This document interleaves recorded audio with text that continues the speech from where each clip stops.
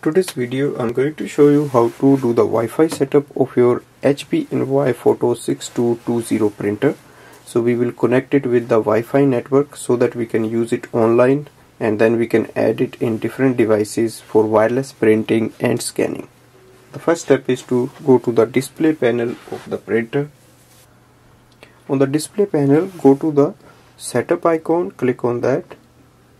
Look for the network setup click on the network setup wizard click yes.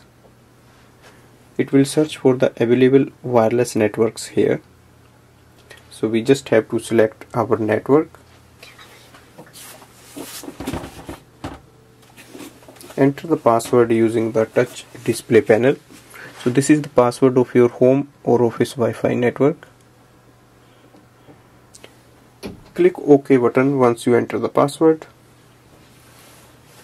you will see the blue light is flashing. After some time it will stay on and your printer will be available online.